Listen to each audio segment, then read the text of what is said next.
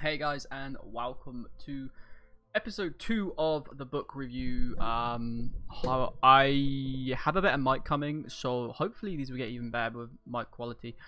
But today, um, I didn't set a book last time because I was hoping somebody would leave me a comment in what book to uh, review next. Unfortunately, I didn't get any comments. So today we're just gonna review the second book of the Last of the Shadow Knights series by Michael Webb. I will, make sure that that is true. Yep, Michael Webb. Um, because we did we did one, we'll do two. Uh, I don't think three's out yet, uh, and we'll do three when it comes out. Because I actually do really enjoy these books, and I will definitely get into it. Um, so let's get into it.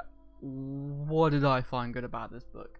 Um, so I liked the book. I like I like the plot. I like the way it's it's diverting from um Varen. And it's like going it's going into places and you can see the way the book's going. Unfortunately the main character is dumb as fuck sometimes and doesn't see what's in front of his own face. So and as well there was foreshadowing in the first book with things that are going go, going to happen that I think will happen, which I'm going to explain. Um, I keep saying things because like I, it was actually quite a while when I read this book. I would like to read a new book, then review it, read it, so it's fresh in my mind. Um, I will set a book next week, and then I want the comments to pick a book for the week after because, yeah, because it didn't really work. I was hoping I would just like see a comment, pin it, read the book, done, osh, like, uh, so we got to see uh, some mystical beats, mystical beasts in this book, which is interesting. Uh, that's I reckon that's going to foreshadow if there is uh, a book after the trilogy or in the trilogy. There's going to be some mystical beasts in there that pe- that is going to come, and maybe Varen is going to have to kill. Um, the woman is the woman called Charlotte. Is her called Charlotte? I, I never remember her name because I don't care about her character. Um, but she she's obviously she's going to become a kind of Shadow Knight. She's got she's already uh, she's already used the um the I can't remember what it's called. The mystical powers. Everybody has a different name for it, but it is just mystical powers like the will, like this adrenaline. It's like an adrenaline rush. So she's obviously already used it um at the beginning of I don't know if it was the last book or this book. Obviously when she did the obstacle course and she ran it once, she got minus time uh, of everybody and she ran it again, she did it again. So and she was really exhausted at the end and really tired. Um so you could tell that she she uh the way the, the way it was written that she's already using it but she doesn't know how to unlock it. So there'll be she will become a shadow knight. Um so Varen is the last of the Shadow Knights. Maybe she won't become a Shadow Knight as such. Maybe she, they'll they'll make a new order of things, and then she will become part of that order. Uh, but she might not be a Shadow Knight, but she, definitely she will become something like Varen, and Varen will train her. Uh, on that topic as well, Morgan is foreshadowed to be uh, another Shadow Knight. Uh, it's so obvious in the book. It says um, Artemis. Uh, what did he? Artemis didn't become a Shadow Knight uh, firstly because he because he had a family, but then his family um was died was either killed. I can't remember exactly what I think they were killed, but Morgan has had exactly the same done to him, so you know that that's gonna happen, right? Right? I'm not being stupid here. Like Varen's just gonna teach Morgan, right? if he doesn't if he doesn't see that in front of him his master had exactly the same like exactly the same thing happen to him if he doesn't teach morgan he dumb just saying so i think they'll become like the trio the three musketeers of this uh, you know three musketeers such like to be fair that actually is the plot line there of the three musketeers um and obviously you've got the other dude who betrays them all the time who's a little shit I don't really care about him. I'm sorry, I don't. Um, he should have died several times by now, and yeah. Uh, Varen is a Varen's a bit too good for his own own good, but um, like at the start of the book, obviously Varen was in slavery. I liked that whole arc because Varen was tied down to Morgan and Chloe and the rest of those in there, and obviously Brixton. I believe his name was Brixton. Uh, Brixton um messed up the market uh because he's a terrible businessman. Like he's just too interested in profits instead of interested in interested in just just letting it let you know let letting business flow. Sometimes you have to you have to spend money to make money. Do you know what I mean? Varen wasn't making we was making a good sum of money, and Matey was just like, oh, you know what I could do? I could like make more money. And it's like, no, because you've just stripped the business down to bare bones and nobody wants to go there anymore. But Varen would have literally, he's literally given, not given to you, you stole it off him, but it's on a pedestal and all you had to do was just have the same fucking thing. And he's he's really stupid and he's like, he's one of those characters who is either going to, two, two things are going to happen. Either he is going to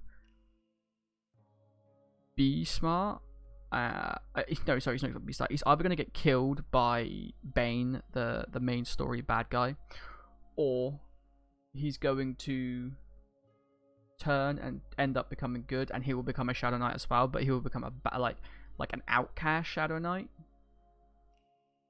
um, who like watches over the shadow, like Sasuke in Naruto when he he basically wanders around and watches over the village but doesn't come back to the village that much. Maybe he could be like that. So it's one of those two things I think that's going to happen to him. Personally, I'm leaning toward he's going to die at some point, and I'm would be kind of happy with that. Um, because obviously, like you saw a little turn, the t- little turning bit in right at the end of book two, because obviously he went in with uh, Charlotte. I, th- I think I named Charlotte. Is her name not Charlotte? Or Chloe, is it? It's something begins with C, I know that much. I think it's Charlotte. Not Claire. It's not Chloe. It's not Caroline. Oh, I can't remember. Anyway.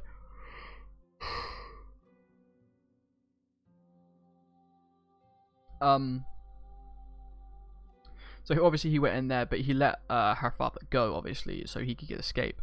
But it doesn't really make that didn't really make a difference. He just didn't want that person to die. So he does have good in him, but he's doing bad things for the wrong reason because he wants to his obviously impress his father and he wants the power and all this and that. So he'll either have a major breakthrough in the next book and not want any of that crap, and then just go with Varen.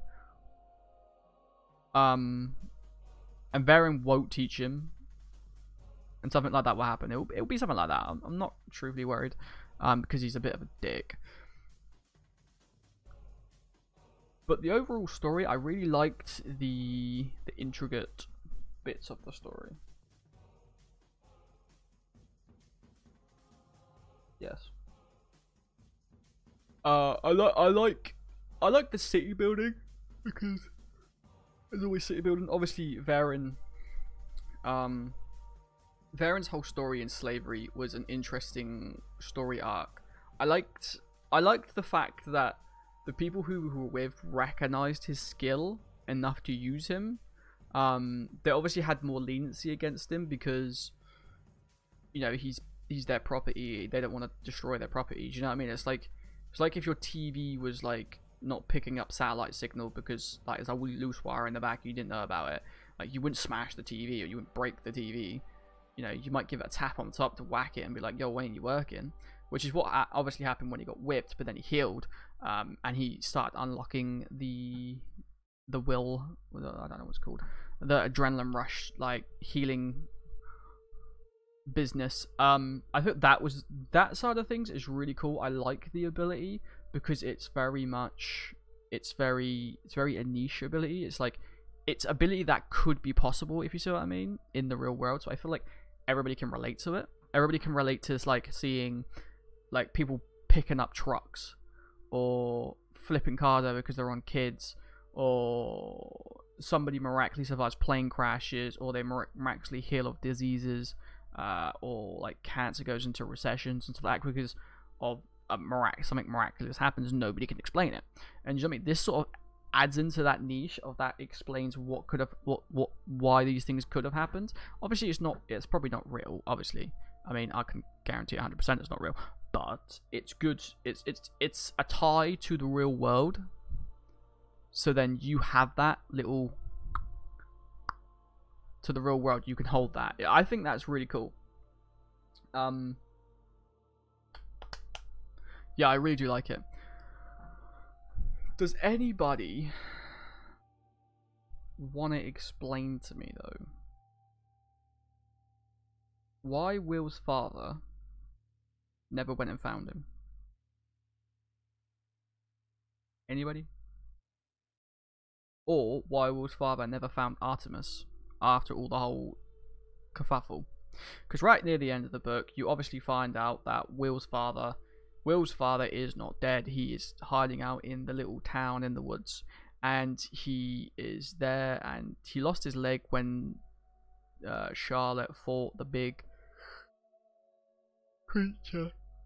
Sorry, I'm filming this at midnight. Uh, the big creature in the trees, which was crazy, and obviously, you know. So I feel like he, like William, I think his name is William.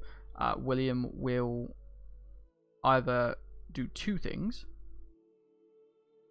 Uh, he will either teach Varen more about the will, or the, or adrenaline rush thing. I keep calling it the will because of Fable. I don't know why. The will. Um, or two, he will show. He will tell Varen that Charlotte has potential, and Morgan has potential, and he will open his eyes to see that, and he will say, "I am like."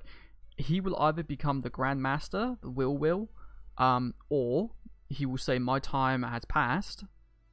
Uh, I do I do not want to be Grandmaster." But these people could be it. They could be the next the next generation. And obviously there is a generation there, and people just have to find them. But I would say Morgan is definitely one of them, and so is Charlotte. Um, but you know, we'll see. We'll see. I don't want to keep this video hugely long. Um, so I will keep talking, but I'm not going to take it make make it like 50 minutes long. But yeah, I do like. I do really like this book. I I feel like the pacing is good. The the pacing is the main thing that makes this book really good, because you're never stagnant too long. Like, book one, you went from street urgent to training to broker to getting kicked out to opening your own market to like shadow training then it was oh shit something's going on. Uh, then it was bang into the whole castle business with him fighting and like completely wrecking everybody which was amazing by the way. I, if that was a film that would that scene would be fucking awesome. Um and then it goes a step further you know he's in prison ah oh, he's dead no he's not bam he's being sold into slavery because brixton wants doesn't want him to die Okay, then we're in book two.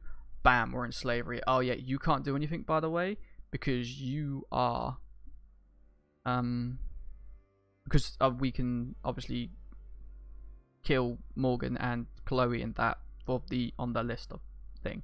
You know what I'm talking about. They have indentured lists and like your crime is there. That's how long you have to serve, or you have to pay something off. And then if you don't do what you're told, these people on this list get hurt, or yeah, they can get put into slavery as well. So,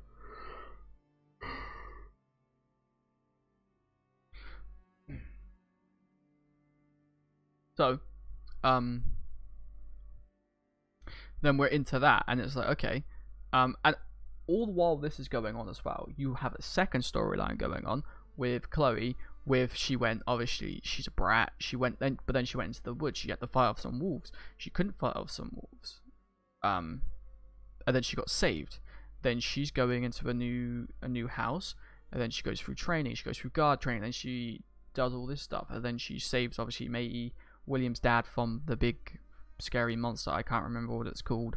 Um and then she goes into loads of stuff uh, she, then she gives it up. Then she comes back to her home village where her mum and dad is, and coincidentally, obviously, because of because of plot, because of plot, um, uh, Varen is sold to her parents because you know plot. You need to you need to tie that plot in, So then they're together. Do you know what I mean? And then now they're together. Now the storyline's progressing with both of them. It's not like separate. Uh, and I thought that was really good the way they brought that into one book and book two, and then it's moving forward and it's moving forward and you know slavery, and then you know the garden of business and he's got a rival in the garden. That's just fucking. I thought that was it was a nice detail, but it was too petty. If you see what I mean.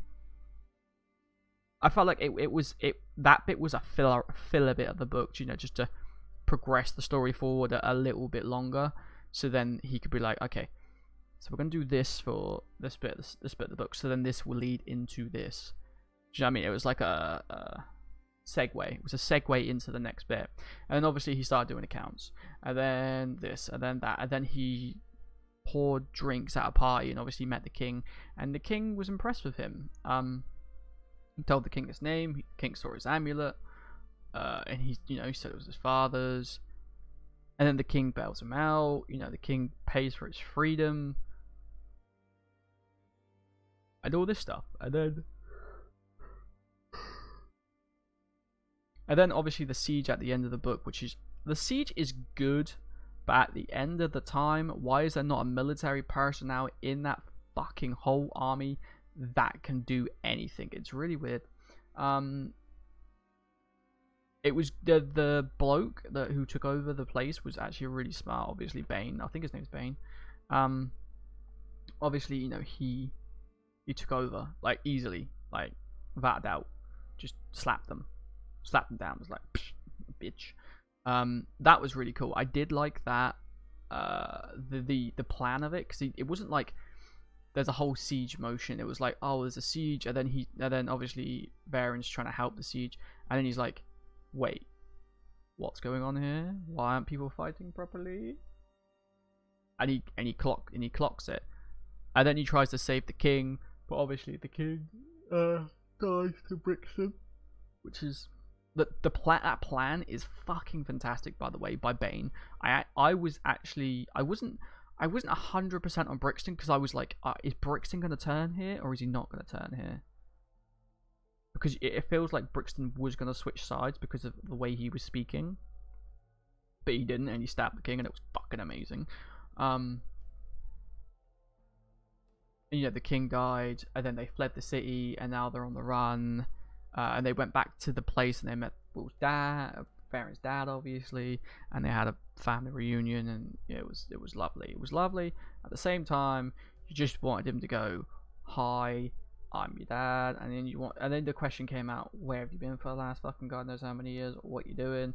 The story portrayed you as a loving father, like, and he, and his excuse was, "Oh, it wasn't safe." I mean, it may have not been safe that year after, but what about three years down the line? What about three years down the line? You know what I mean? Well, why didn't you come see him three years down the line? I guess it was the same as Artemis. Like Artemis didn't come and see him three years down the line. I don't know. I don't know. It might have been explained in the book, but I might have missed it. But I thought it was. It, as a parent myself, I don't feel like it would have kept me away. Like yeah, it's weird. So,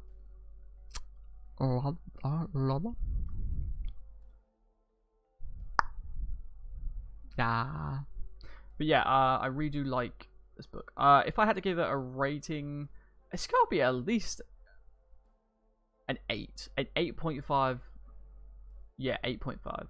Eight. It's an eight to an eight point five for me personally because I love the story and I, I I've always loved that story where there's a little you know there's a young person and they find a mentor they're on the streets they get back they grow up and they become like an actual intelligent person and amazing I I, I, I always get suckered in by that story and I probably always will um and it's the same with like what is it called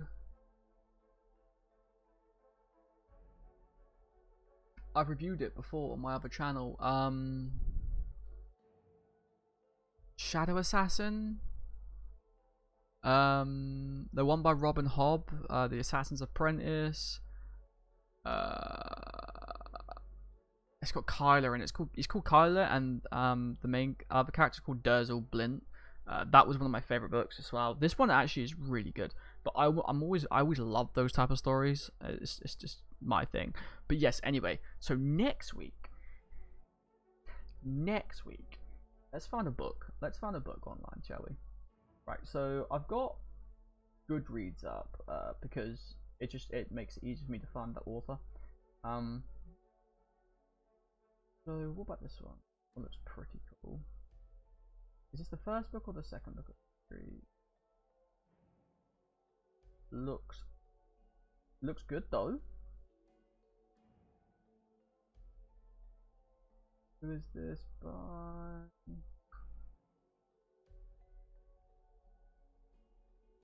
Uh, by Ryan Ryan something.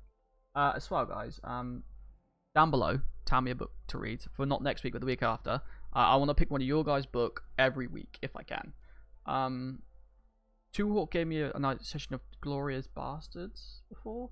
I want to do that book. If he wants me to review that book or talk about it, let me know. And I probably will. Uh, because, um, why not?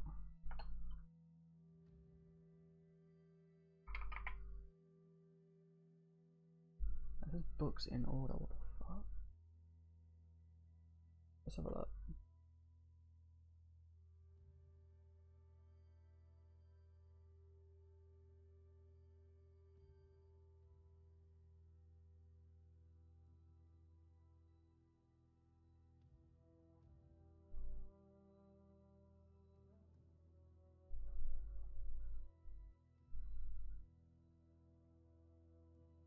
Okay, should we try? Let's try. Let's try this one. This one's called um, "The Bound and the Broken," Book One, uh, of Blood and Fire. Uh, something is a land divided by war, and that the High Lord of the South squabbles the fights uh, over to keep check of the Dragon Guard, traitors of a long time past who served the Empire of the North in the remote villages that are still from the loss of the tragedy of his brother, blah blah blah, prepares to prepares for the proving test of courage and skill uh, that not all survive, but three strangers arrive in the village uh, with a secret that that they will die, that willing to die for. Uh, something's world is ripped apart from underneath them, and he is thrust headfirst into war that has been raging for centuries. There is no prophecy. His coming, his coming was not foretold. Foretold. He bleeds like any man. He bleeds. He will. I mean, that sounds pretty fucking sick. So let's let's read that book. Um, I will put that in the description down below, hopefully. Uh, sorry, this book, this is a day late as well. Um, I do apologize. I didn't realize 14 days was up. I checked it. I checked my channel. I swear I checked it like two days ago, and it said like the, the video's only been out 10 days, uh, and it was 14 days today. 14 days and 8 hours when I checked it, and I was like, okay, I'm gonna quickly re review a book, put it out. Hopefully you guys enjoyed. Tell me if you like this this this this version of me just talking, or do you want me to have it more structured? Do you want me to go through different individual characters, uh, and then go through the plot, uh, and then go through world building, or or do you want me to just talk about it? It's up to you. It's up to you. I don't mind either way. I just really like the books, and I like talking about them. Um, I'm definitely going to listen to this book. Um, well, read or listen. I don't know. Uh, if there's an audiobook, I will listen to it. If there's not, That could be a problem. Because I hate reading. But yeah. I hope you guys have enjoyed. I will see you next time. Um, yeah. Don't forget to subscribe. Peace and ya.